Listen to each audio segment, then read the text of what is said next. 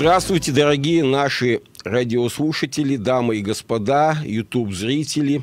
С вами «Народная волна Чикаго», самое лучшее радио на Среднем Западе США, и я ее ведущий Геннадий Брумер. Всех поздравляю с наступившим Новым годом, всем желаю счастья, здоровья, крепкого, крепчайшего здоровья. В это время нужно себя держать. А, к сожалению, никуда все это, пандемия это не уходит. А с нами сегодня на линии в первой передаче этого года политолог Глеб Павловский. Глеб Олегович, вы с нами? Я с вами. Глеб, э, Глеб Олегович, большое спасибо, что вы согласились с нами побеседовать в это позднее время. Э, как вы встретили Новый год? С каким ощущением? Ну, ощущением тяжести в голове и в желудке. А, а так э, ничего особенного, по-пенсионерски. А какое событие, как вы считаете, было самым главным в ушедшем 21 году для вас в России? Ну, этот всегда вопрос трудный, потому что он полупустой. Э, я так не отношусь к событиям. Э, конечно, есть заметные, выдающиеся, я бы сказал, события, особенно у нас, как правило, это негативные события. Э, например, вот арест Навального. Собственно говоря, скоро будет год, как это состоялось. Вот. А так по мелочи Какие-то личные книжку написал, издал. Э, я иначе меряю просто уже годы, у меня их много, и, и прошлого, и часто интереснее текущих. А, давайте мы поговорим как бы сначала по точкам, а, которые были в прошедшем году, а потом о прогнозах. А, почему я спросил о главном событии. Их действительно было много. Это и арест Навального, это и договоренности Владимира Путина с Лукашенко, это и как, как в каком-то смысле э, ультиматум э, России Западу, выборы в Думу, то есть э, было достаточно много событий. Почему я и спросил, какое бы вы выделили. А может быть, то, которое как-то повлияло на ход истории, может быть, внутри России? Ну, на ход истории э, влияют какие-то обычно незаметные вещи, малозаметные – выборы в Думу в том виде, как они у нас проходят, на, на историю не влияют. А, понимаете, и а, э, какие-то пресс-конференции президента тоже не влияют. Но в сумме все, конечно, мир меняется. В этом году окончательно исчезла политическая сцена в России, ее теперь нет. А, и я полгода пытаюсь понять, а что есть. А, потому что она исчезла как раз к тому моменту, когда стала остро нужна а, для транзита. Транзит власти невозможен при отсутствии политических инструментов.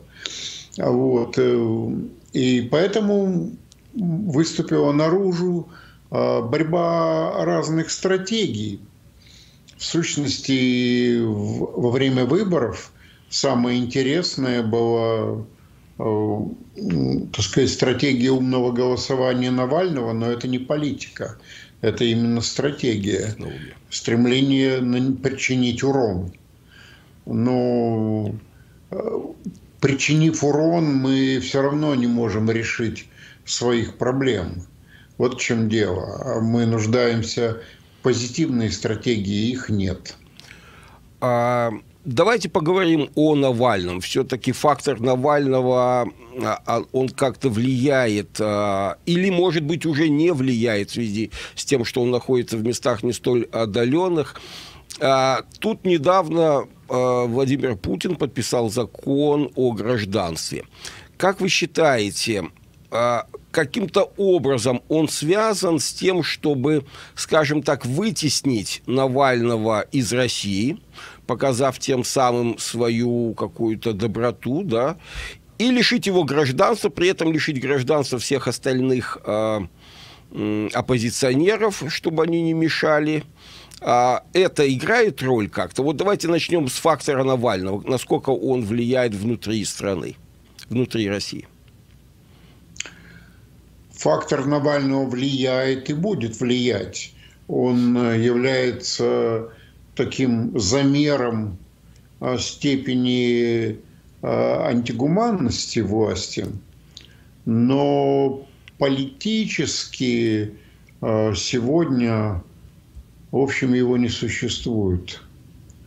Я думаю, как, поскольку не существует той среды, в котором в которой он может резонировать.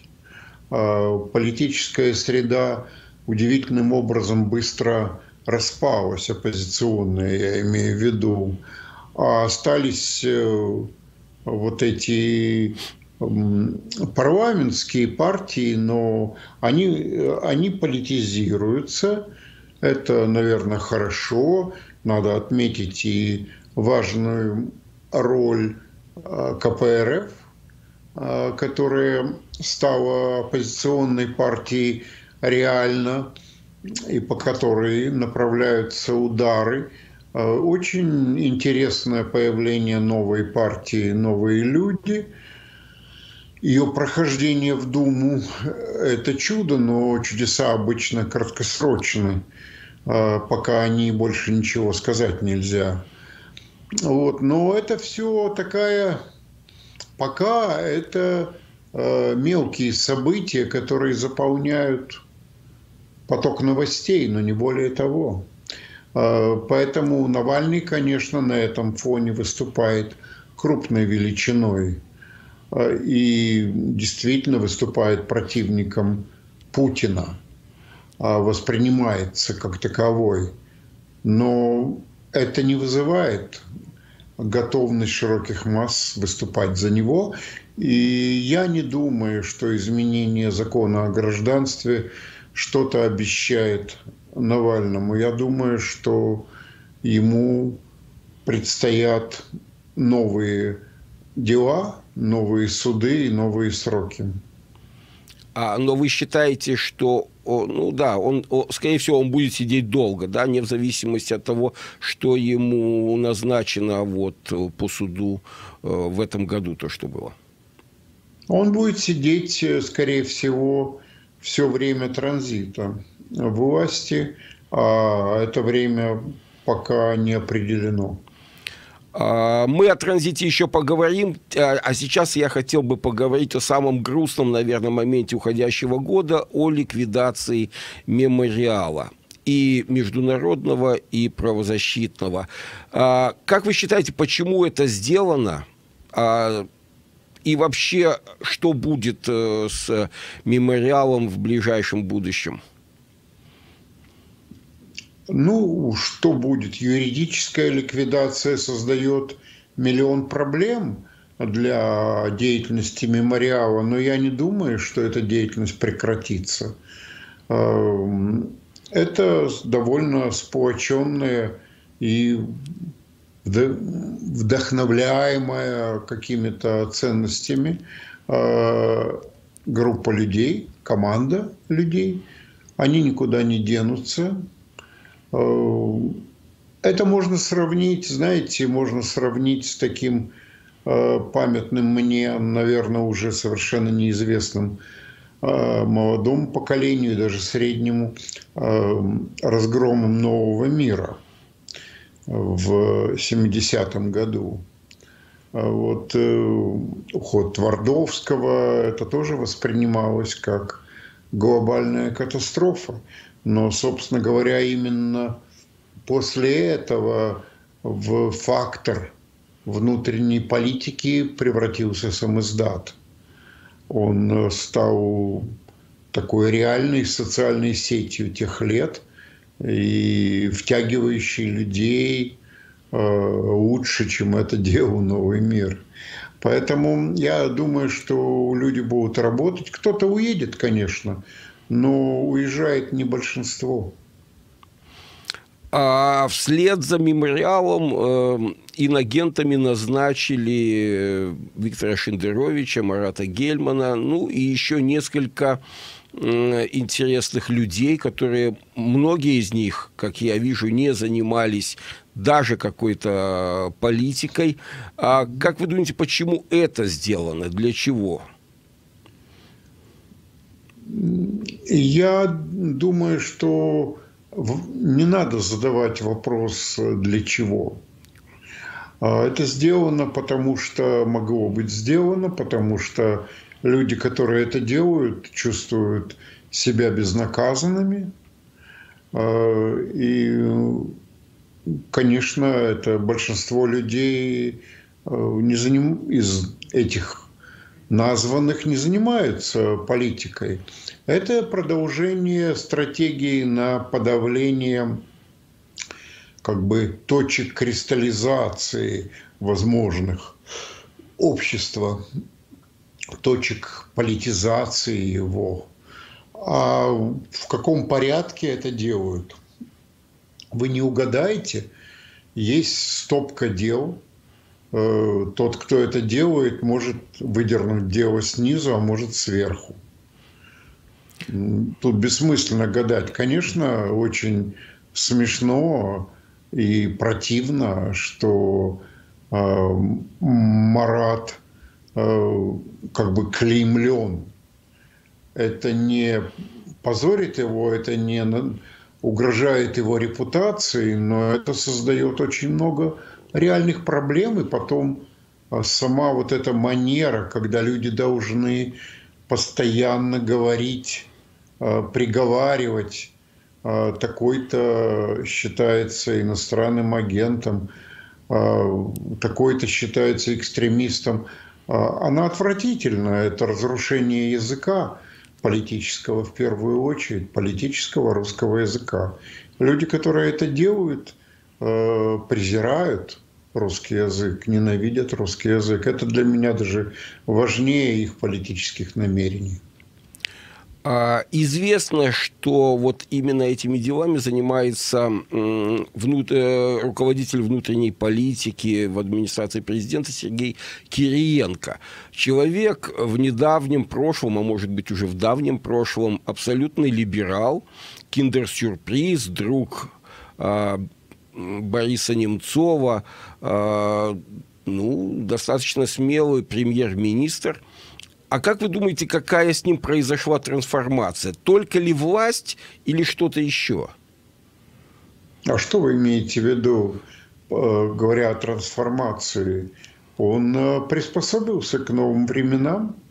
Э, это происходит, к сожалению, с очень многими. И здесь не играет никакой роли прошлая политическая биография. Вот уничтожает мемориал – а, вся Академия наук российская безмолвствует. Такого нельзя было представить себе даже при советской власти. Вот в чем дело. А, это высокая степень сервильности, высокая степень, что ли, подлости, высокий уровень подлости, я бы сказал, людей. А как он возник, как он вырос, это надо разбираться отдельно, но это ведь не вечное явление, это не на вечные времена. А, и потом Кириенко эм, скорее визирует э, внутреннюю политику, чем ее определяет. Вот в чем дело. Какое-то, какие-то акции, какие-то вещи исходят от него, но, я думаю, не, не столь же многие. Администрация президента перестала быть э, модератором внутренней политики, реальным. Там, скажем, э, медиа официальные действуют э, так погромно, грубо, и, судя по всему, постоянно нарушая интересы политического блока. Они не могут даже провести кампанию пропаганды вакцинации, потому что они привыкли к такому языку, которые люди не хотят слушать, когда идет речь о их собственных интересах. Они готовы почему-то слушать, э, как говорят об Украине, а, вот такой помойной речью. Но, но я думаю, что они относятся к этому как к хэппинингу, э, энтертайменту такому странному. Но не они не лояльны э, этому языку и не лояльны в сущности политической власти на самом деле. А кто сегодня является, как вы считаете, медиатором, э, законодателем, э, скажем так, политической моды вокруг Путина, может быть? Ну, что значит политической моды? Те, кто может причинить боль, пытать, посадить. То есть вы считаете силовики, сил, э, силовой блок э, окружения ну, президента? Ну, в широком смысле этого слова, э, включая и, и суд, и даже конституционный суд. Это как бы глубоко э, деградировавшие структуры, э, где люди потеряли понимание государственной даже ответственности, я уже не говорю про моральную. А, Глеб Олегович, давайте поговорим все-таки о двух людях, а, голос разума которых все-таки прозвучал в прошедшем году. Я говорю о Нобелевском лауреате а, Дмитрии Муратове, первом журналисте э, в России, лауреате Нобелевской премии мира, и о прекрасном режиссере Александре Сакурове.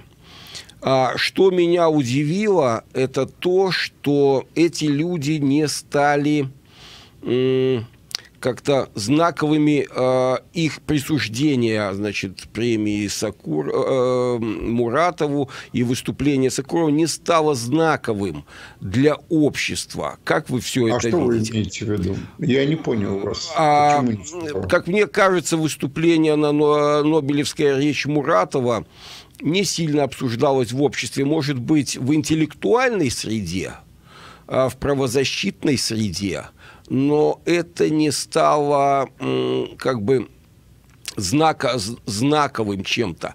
Про Сакурова тут вообще сложная, как я вижу, ситуация, потому что его выступление обернулось для него в каком-то смысле, если не гонением, то э, сильным давлением. Вот это вот я имею в виду. И общество на это, как я вижу, тоже не сильно отреагировало. Может быть, ну, я ошибаюсь, как, как вы я видите? Я не могу это? так сказать. Ну, надо помнить, что мы имеем дело с глубоко расколотым обществом, а, которые, части, фрагменты которого ненавидят друг друга. А, социальные сети дали именно этот результат у нас. А, мы разделились на несколько племен – которые воюют друг с другом, ненавидят друг друга и, э, и просто не слушают друг друга. Нет такого явления э, прошлого, как, например, советская интеллигенция, которая была более конформистской, менее конформистской в разных секторах, но, в общем, была довольно единой. А такого больше нет. А, общественного мнения публичного больше нет. Ему негде выражаться. У него нет дисплея для демонстрации. Ну и потом люди э, очень озабочены, испуганы, я бы даже сказал, а, угрозой войны.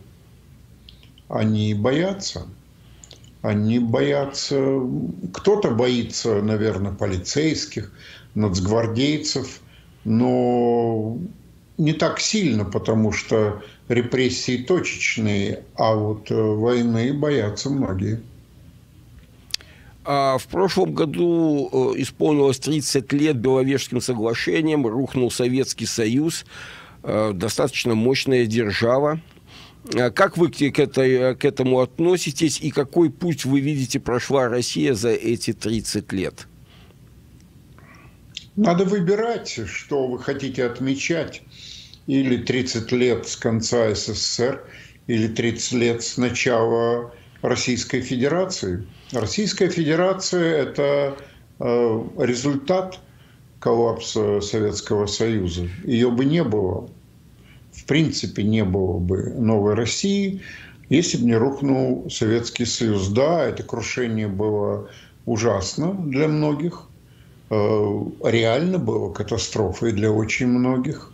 И в то же время оно, не будем забывать, э, породило вот этот странный, а, странный свой, как бы трудно даже сказать кого, кто это, обломок или, значит, какой-то э, симбионит, что-то, что-то, чего не было бы, если бы Союз не рухнул именно таким образом. Вакуум, который возник после Беловежья, которое не кажется мне э, э, хорошим решением, и мы это видим сегодня.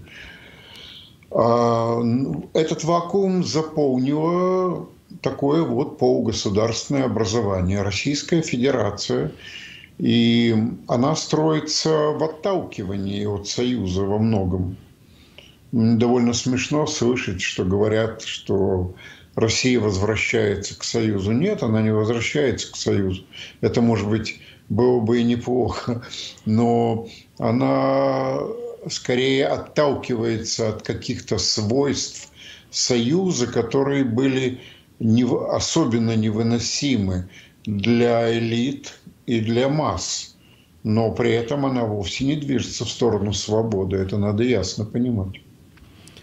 А, Глеб Олегович, теперь мы поговорим о действительно больной теме, а, которая звучит, витает в воздухе, война с Украиной, а, или предчувствие ее. Как вы считаете вообще, что будет в этой ситуации, потому что идет такой очень серьезный шорох по всему миру, будет ли война, если да, то какими, какими средствами, как вы это видите, весь этот театр, политический театр вокруг Украины? Я вижу его несколько иначе, чем многие. А, я не поставил бы и 100 а, баксов на миролюбие Кремля. Это уж безусловно. Но, в общем, как раз в этом вопросе, наверное, я ближе всего, стыдно признаться, к его текущей политики. Ведь что происходит? Разрушен э, прежний миропорядок, его нет. А что такое миропорядок? Это правила. Это правила, по которым, э, на которые ты можешь рассчитывать, по которым люди живут. Э, разрушен давно, он рухнул, в общем-то, давно. Хотя и не сразу после Беловежских соглашений, но в результате действий таких героических президентов, как Джордж Буш младший, э, Трамп и так далее, мы живем среди осколков. И что получается? А, получается, что у нас нет консенсуса ни по одному э, варианту мировых правил. Э, есть, как теперь говорят, коллективный Запад. Само по себе это тоже интересное обозначение. А, то есть, с одной стороны, это уже не мейнстрим, а с другой стороны, группа стран, претендующая на мейнстрим, но не способная обеспечить его для всех. Россия вытолкнута из мейнстрима. Да, во многом по своей вине. Да, не следовало делать многих вещей, особенно, конечно, того, что было сделано с Украиной в 2014 году. Это чудовищная ошибка. А, но сегодня дать задний ход и невозможно, и бесполезно, потому что никто, Россия не имеет слова в аргументации своих интересов. В Соединенных Штатах, например.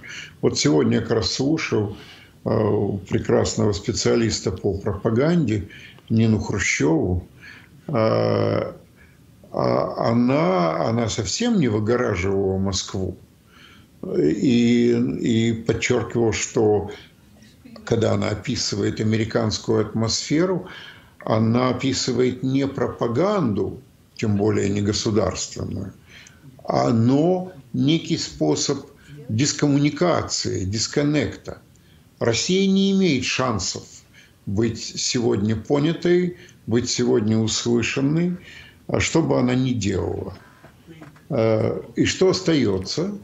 Война становится языком, понимаете? Война становится дискурсом, способом достичь какой-то коммуникации. И говорить, хотя бы теоретически, пока говорить о каких-то правилах. Конечно, никакой войны не будет, но Э, может быть, это звучит парадоксом, но силовая конфронтация как раз становится нормой и инструментом э, балансирования мирового порядка.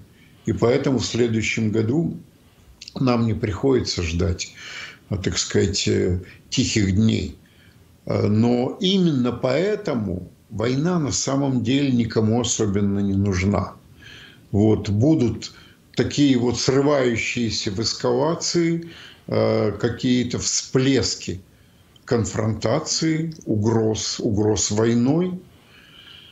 А Украине я не завидую, естественно, при этом жить, э, управлять ею очень трудно, э, но и, конечно, очень опасно, потому что однажды ведь можно съехать в военную колею. И потом не будем забывать, сама такая ситуация вот этих конфронтаций, она очень соблазняет разные третьи силы, э, которые не рискуют, потому что не им предстоит воевать, э, но могут э, провоцировать стороны и провоцировать реальный военный конфликт. Поэтому что делает Москва?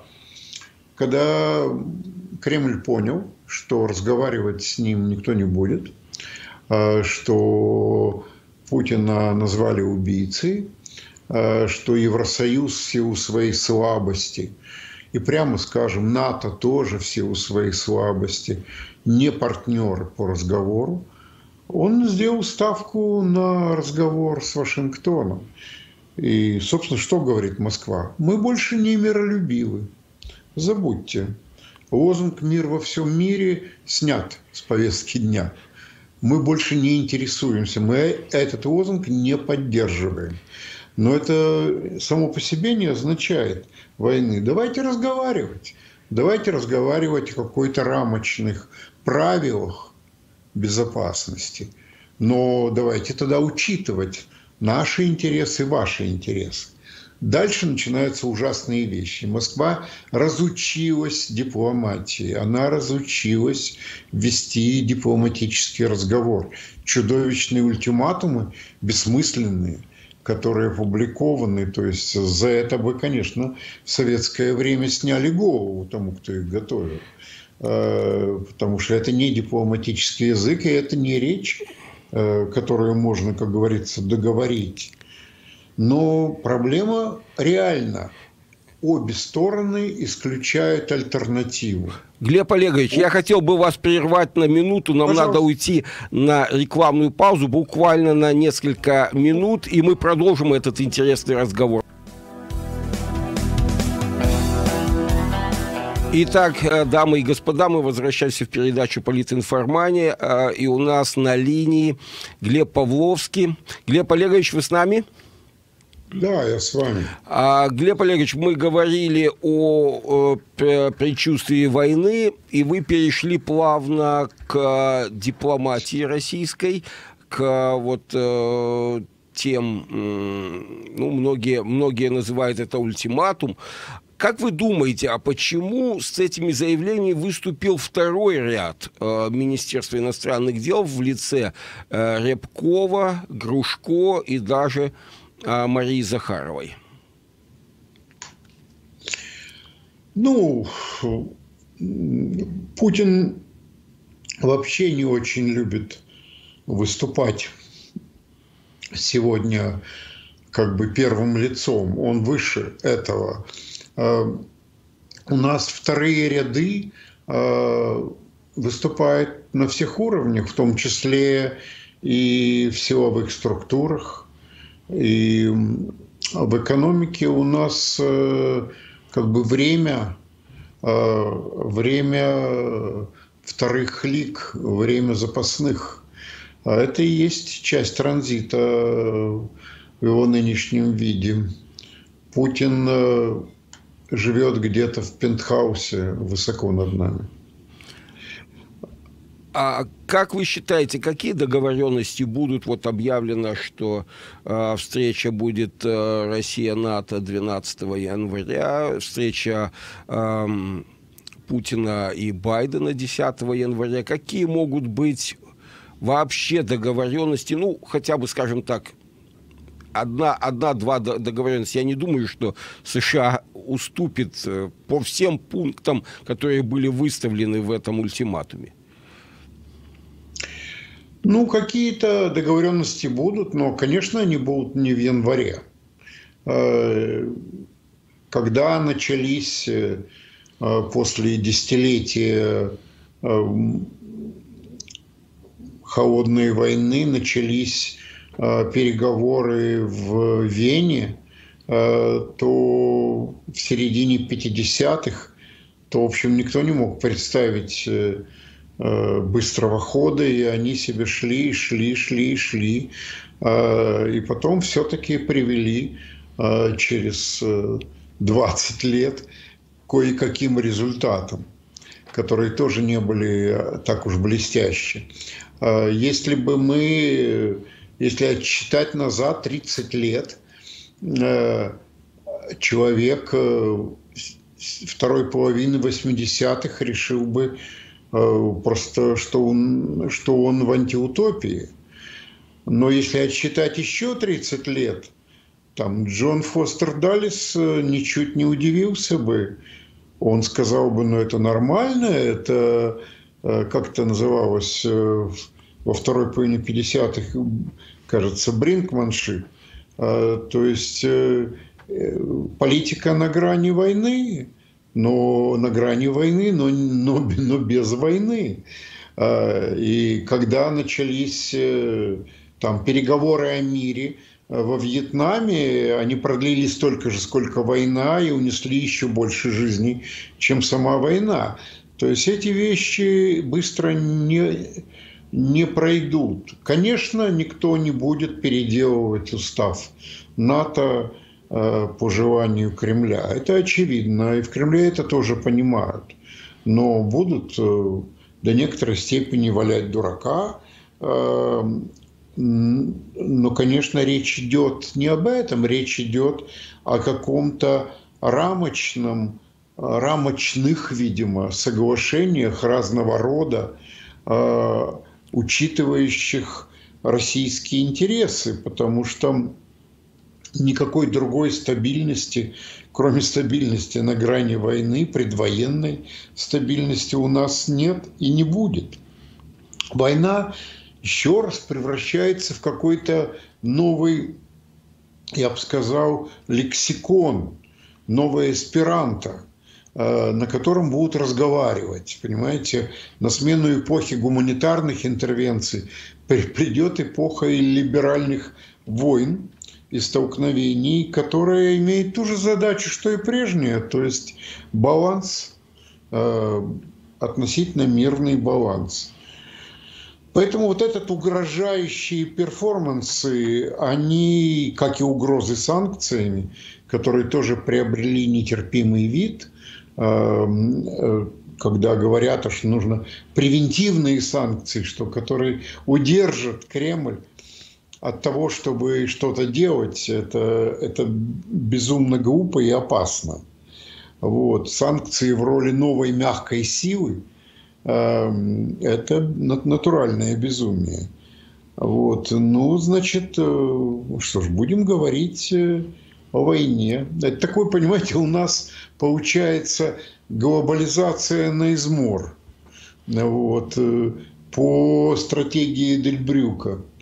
Я думаю, что это будет идти медленно, с истерическими срывами с разных сторон, в том числе, я думаю, и со стороны американского общества. Э, которые отнюдь не находятся в безмятежном состоянии. Так что не знаю, не знаю. Вот э, этот сейчас, то есть это, знаете, как похоже, как в Советском Союзе говорили, какая цель э, поездки на Запад, если ты получил разрешение, получить право на следующую поездку. поездку. Вот. Вот это задача этих э, переговоров – это следующие переговоры. И постепенное втягивание сторон, выработка языка какого-то другого, чем война. Э, но эскалации будут все равно, я почему-то не сомневаюсь в этом. А, Глеб Олегович, в начале передачи вы уже упоминали такое слово, как транзит, и хотелось бы об этом поговорить поподробнее. В 2018 году а, на «Эхо Москвы» вы высказали идею, а, что Путин упустил возможность найти себе преемника, а значит, его окружение теперь будет выбирать ему а, человека, который придет ему а, на смену. А вы до сих пор так считаете? Да, ну так и происходит у нас.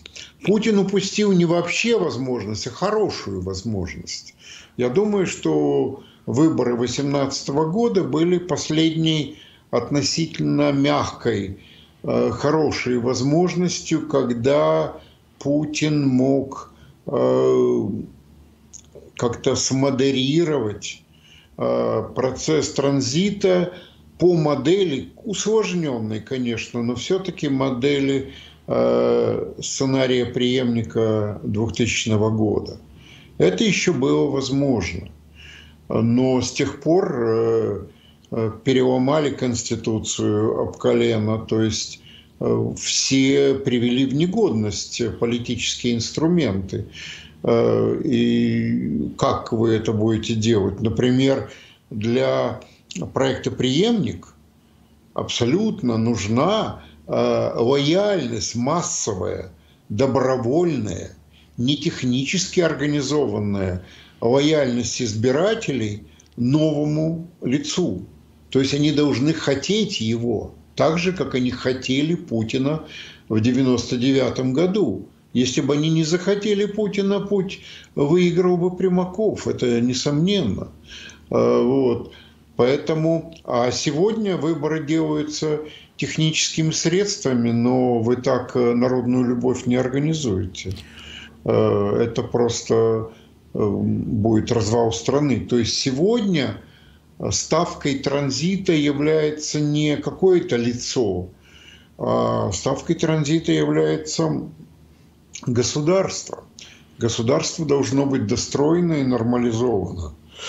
Мы не можем 30 лет существовать, просуществовав в виде какой-то системы организации власти без государственных институтов, продолжать это дальше. Это слишком опасно, в том числе в предвоенном мире – Поэтому я думаю, что да, э, ближний круг Путина и разные группы э, в окружении, разные просто ветви власти, но на самом деле ни одна ветвь власти у нас не является консолидированной. Они уже сейчас спустились в пляс, они в игре, они видят свои ставки, свои – но их ставки – это не ставки Путина и не ставки населения страны. А, поэтому здесь э, ситуация будет разогреваться, совершенно несомненно. разогреваться все сильнее. И ничего хорошего здесь нет, потому что надо решить как бы ряд очень трудных э, консервативных задач. Нам надо э, стабилизировать государство, но его нельзя стабилизировать на нынешней основе, так как оно сегодня выглядит. Значит, э, что как быть? Как вы гарантируете, например, активы населения? Это очень важная вещь.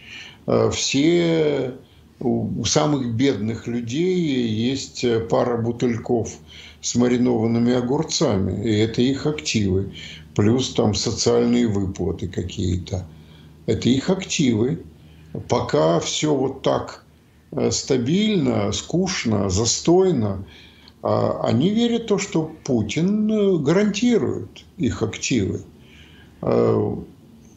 Активы Дерипаски и активы бедняков – Вообще-то говоря, даже, даже если говорить о бедняках, э, только там о владельцах дачных участков, то общая сумма э, стоимости этих активов, капитализация дачных участков, это, она примерно равна сумме государственной собственности. Это гигантские деньги.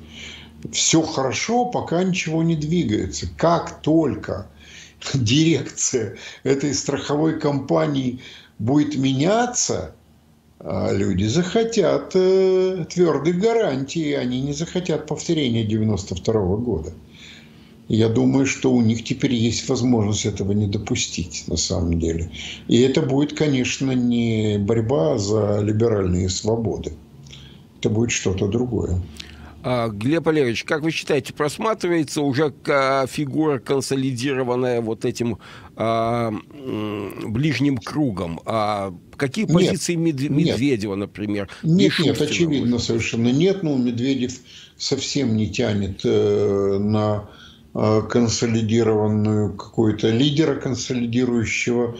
Он э, все-таки слишком увяз в э, как бы в путинских планах, в путинском стиле и так далее. И с 2011 года, 10 лет, он э, ни разу не проявил себя самостоятельно, увы. Так что нет, э, нет, такой фигуры пока нет, но она, несомненно, появится, я думаю, сразу как, э, может быть, несколько фигур. Мне трудно сказать. Я вообще думаю, что итогом транзита промежуточным, переходным станет э, коллективное руководство в том или ином виде. Э, где там будет, какое место в нем будет занимать Путин, где он будет, я не знаю, но не похоже, чтобы э, кто-то из фигур истеблишмента мог претендовать на лидерство. А премьер-министр Мишустин, э, у него не сильные позиции, так чтобы стать хотя бы... У него сильные аппаратные позиции, несомненно, но лидерские, не знаю, так же, как здесь те же проблемы, что и с Собяниным, потому что у него, безусловно, сильные позиции. Москва с ее 25 миллионами населения мегаполиса – это сильная позиция, очень сильная, но воспринимается ли он как лидер остальной страной? Это трудный вопрос, не очевидно.